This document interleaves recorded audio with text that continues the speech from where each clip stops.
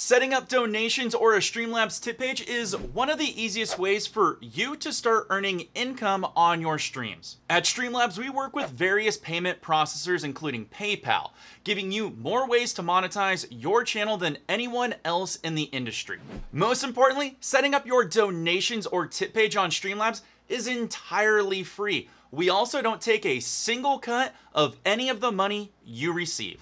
Setting up your stream to receive donations or just creating a tip page in general only takes a few moments, which is why in this video, I'm gonna show you how to do it so that way you can create one right away. Let's go.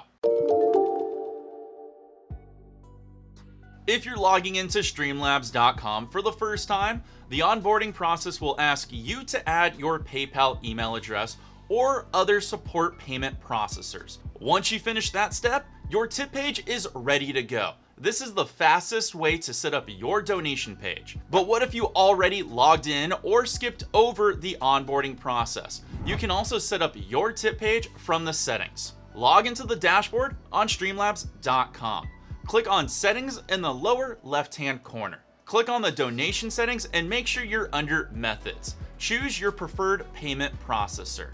Go through the necessary steps to connect your account. After your account is connected, your tip page will be available at streamlabs.com slash your username. If you ever need a reference or an example of one, hey, you can go to mine. Just go to streamlabs.com slash wild4games and there you can see my tip page. Within your tip page, you can manage the settings in the dashboard. Not based in the US, choose which currency you'd like your donations to appear in set the minimum amount required to donate, and even adjust the recommended amount that appears for a user when they visit your tip page. You can also edit the message that appears on your page when a user visits, adjust profanity filters to block out offensive words, and even customize the image that appears as your donation page header. Being able to receive donations or adding a tip page to your Twitch channel is a great way to supplement your income while you're on your streaming adventures. Now, once you have your donation set up, you need to make an appealing donation button,